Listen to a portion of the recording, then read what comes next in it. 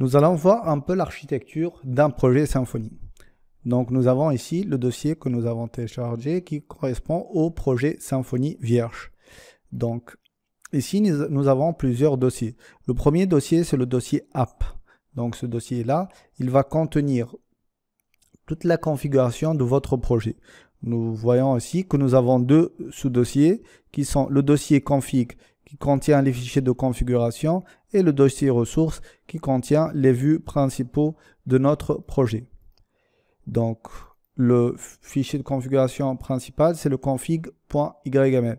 Vous voyez qu'il y a trois fichiers de configuration, plutôt quatre, config.yml, config.dev.yml, config.prod.yml et config.test.yml. Tout simplement, c'est les différents environnements dans lesquels votre projet peut être. Donc, vous savez que deux, euh, lorsque on va créer un projet, il peut passer par plusieurs cycles. Donc, il peut être au départ dans le mode dev, donc vous êtes en train de développer votre projet. Ensuite, vous allez le tester et finalement, vous allez le mettre en production. Symfony vous permettra aussi de créer vos propres modes, mais les modes les plus utilisés et les plus connus sont ces modes-là. Donc ici, euh, nous importons trois fichiers, à savoir le parameters.yaml, security.yaml et service.yaml. Le premier, c'est pour avoir notre configuration. Et donc là, vous voyez qu'on a une configuration qui correspond à la base de données que vous, avez, que vous allez utiliser. Donc c'est euh, le hôte, le port, le nom d'utilisateur et euh, le, nom de la base, l'utilisateur et le mot de passe. Ça, c'est les informations que nous avons utilisées lorsque nous, nous sommes connectés euh, à une base de données en utilisant PDO.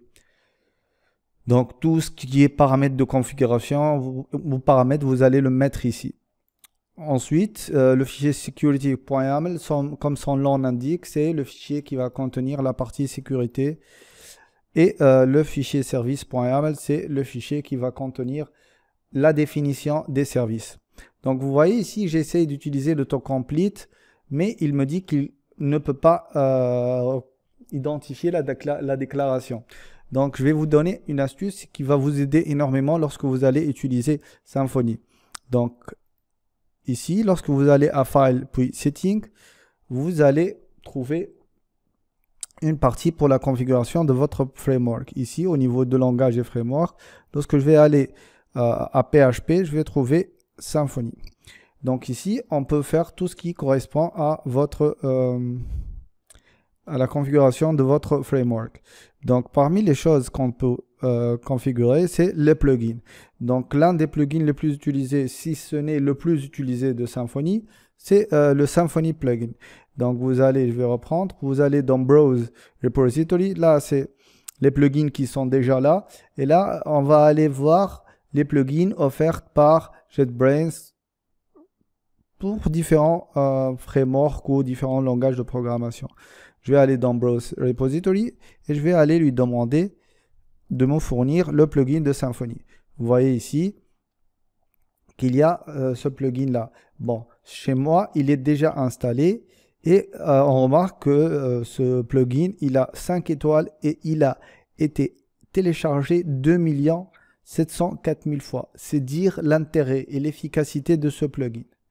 Donc, maintenant, si vous l'aurez installé, vous devez redémarrer tout ça. Une fois redémarré, vous pouvez aller euh, l'ajouter ou l'affecter à votre projet. Donc, généralement, lorsque vous ouvrez votre projet, il va vous demander dès le départ si vous voulez l'intégrer parce qu'il va identifier en fait la structure d'un projet Symfony. S'il ne le fait pas, s'il y a un problème, vous allez dans langage et framework PHP, vous allez dans Symfony et là vous avez enable plugins for this project. Change need restart. Donc je vais lui dire oui. Je veux avoir les plugins pour ce projet. Je lui dis OK et euh, je vais redémarrer euh, mon projet. Donc ici, voilà, bon, sans redémarrage en fait. Maintenant, il arrive directement à reconnaître les différents fichiers. Vous allez voir que ça va vous aider, que ce soit au niveau de l'autocomplete, que ce soit au niveau de la navigation interne, au niveau de votre projet. Ce plugin-là, il est essentiel si vous voulez bien développer avec Symfony. Donc maintenant, pour le fichier security.yaml, ça c'est toute la partie de configuration de, la sécurité. Là, on va identifier nos firewalls, les différents rôles des utilisateurs, etc. Et finalement, pour les services, c'est la couche transversale au niveau de Symfony qui va vous permettre de centraliser l'ensemble des services qui vont être utilisés sur l'ensemble des composants de votre projet Symfony. Donc euh, ça, c'est au niveau du dossier config. Ensuite, vous avez le dossier ressources. Il va contenir en fait euh, un template par défaut. Donc on va voir au fur et à mesure que euh, Symfony, il utilise ce qu'on appelle un moteur de templating. Ce moteur de templating là, c'est le moteur Twig. Et ça, c'est le squelette d'une page standard Twig. D'accord? Et donc ça, c'est la page généralement, c'est la page qui va être accessible. C'est le squelette de la page ou du, template global de votre projet. Après, vous avez le app kernel. Ça, c'est le noyau de Symfony. Euh, donc ici, il va permettre de charger l'ensemble des composants et des bundles qui vont être utilisés par Symfony. Donc par défaut, euh, il va exécuter, euh, il va télécharger Swift Mailer, Doctrine, etc. Security Bundle, Framework, Extra Bundle. Et tout ça, il va le faire au niveau de notre... Euh, pardon, euh, on va le faire au niveau de notre app kernel, donc au niveau de notre noyau. Il va aussi voir si le mode est dev ou test. Si c'est le mode dev, il va charger certains bundles. Si c'est le mode euh, prod, il va en charger d'autres, etc., etc. Donc c'est lui qui va s'occuper de tout ça. Mais bien sûr, tout ça, ça vous reste, euh, c'est transparent pour le développeur, mais c'est très bon à savoir. Ensuite, nous avons notre dossier bin. Donc le dossier bin, il va contenir la console. C'est en fait votre ami, votre meilleur ami au niveau de Symfony avec le plugin de Symfony. Ça va vous faciliter énormément la vie. Il va vous permettre d'autogénérer du code, de lancer votre serveur, de créer votre base de données et de tout faire.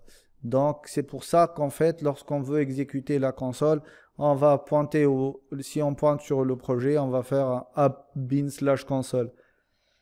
Si ici je vais faire un petit cd, ah, pardon, là voilà, cd, donc bin, au lieu d'aller faire un a bin slash console, je vais juste simplement faire php console.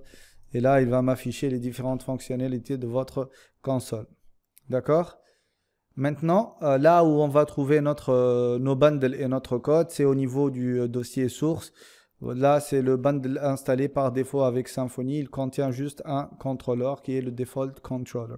Donc le contrôleur, comme on l'a vu au niveau de la, de la factorisation qu'on avait faite par rapport à un VC, ce bundle-là, ce contrôleur-là, en fait, il va jouer le rôle du contrôleur. Donc c'est le meneur de jeu qui va s'occuper de faire l'organisation des différentes euh, tâches demandées au niveau de cette fonctionnalité-là. Après, on a un dossier test pour les tests et un dossier var qui va contenir en fait les fichiers euh, de cache. Donc Symfony utilise beaucoup de cache. Vous allez voir dev parce que ici on est en mode dev, donc on va avoir un dossier dev ici. Si vous montez votre projet en prod, il va utiliser un dossier prod et ainsi de suite. Pour les logs, c'est là où on devra trouver l'ensemble des erreurs. Donc ici, vous voyez que, par exemple, ici, il me demande d'installer un plugin pour pouvoir mieux gérer les, euh, les, fichiers logs. Et donc, euh, toutes les erreurs qui vont se dérouler et tout ce que vous allez loguer va se trouver ici. Donc, si vous êtes en prod, c'est prod.log. Si vous êtes en dev, c'est dev.log certains moments, vous allez avoir, lorsque vous développez, des erreurs qui vont s'afficher. Par contre, à certains moments, pardon, le serveur, il va cracher. Ce qui fait que vous allez trouver rien du tout d'affiché. Et là, vous êtes obligé d'aller voir au niveau de votre log, c'est quoi l'erreur, parce qu'ici, vous allez tout trouver.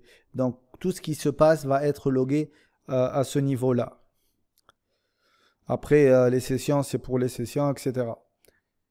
Et euh, bon, il faudra qu'il termine. Donc le dossier vendor, on va l'ouvrir et on va y, trouver un ensemble de des bundles préinstallés et utilisés par Symfony pour fonctionner. Vous allez trouver Twig, Doctrine, euh, Swift Mailer, etc. etc. C'est un ensemble de bundles qui vous seront très utiles. Bon, je vais canceller ici parce que ça a pris beaucoup de temps. Apparemment, j'ai un problème avec ma connexion. Et donc tout ça, ça va se trouver au niveau du vendor. Généralement, vous n'allez jamais toucher à votre vendor, vous n'y touchez pas. Donc c'est des bundles déjà créés. La plupart du temps, vous n'allez pas y toucher. Et enfin, on va trouver le dossier web. En fait, le dossier web, c'est le dossier visible, c'est la face visible de l'iceberg. Donc, euh, c'est là où on va trouver euh, deux fichiers importants qui sont les contrôleurs frontaux et par lesquels toutes les requêtes passent tout ce qui est CSS, JavaScript, images, etc., on va le mettre aussi au niveau euh, du dossier web. Donc voici les vendors. je vais fermer ça.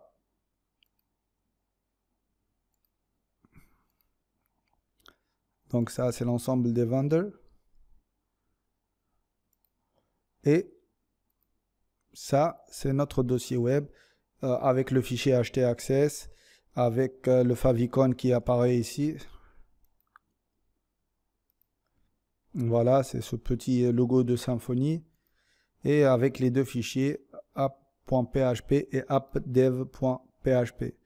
Et maintenant, à l'extérieur, vous allez trouver en fait un petit fichier gitignore qui va spécifier lorsque vous allez utiliser Git quels sont les dossiers qui ne doivent pas être euh, pris en charge logiquement, vous allez trouver vos vendors parce que vous pouvez les télécharger à tout moment puisque c'est des bibliothèques pardon, qui sont déjà installées et donc c'est pas votre propre code. Le dossier composer.json, ça va contenir l'ensemble des dépendances de votre projet. Donc votre projet nécessite une version supérieure à 5.5.9. Si vous voulez utiliser le le Object Type Hinting, vous êtes obligé d'avoir une version 7.2. Ensuite, vous avez besoin de la version Doctrine Bundle, de du Doctrine ORM, euh, de Monologue Bundle, de Symfony, de Twig, etc. etc. Et donc ça, c'est l'ensemble des dépendances de votre projet. Et c'est tout ce que vous avez à savoir pour le moment concernant euh, l'architecture de votre projet Symfony. Si vous utilisez une ancienne version de Symfony, par exemple la, version 2.8 qui est euh, une version LTS, Long Term Support, donc vous pouvez tomber sur des projets qui ont été travaillés avec cette version-là. Par exemple, l'une des c'est une il n'y aura pas beaucoup de différence au niveau de votre architecture. Euh, de l'architecture de votre projet, c'est-à-dire l'arborescence. Lorsqu'on parle d'architecture ici, c'est pas l'architecture du logiciel, c'est l'arborescence. Par exemple, l'une des choses, c'est que tout ce qui est cache euh, et log, normalement, c'était dans le dossier app. Voilà. Les, euh, la console était au niveau du fichier app aussi c'est les, changements les plus euh, remarquables en fait au niveau euh, de euh, l'arborescence de votre projet.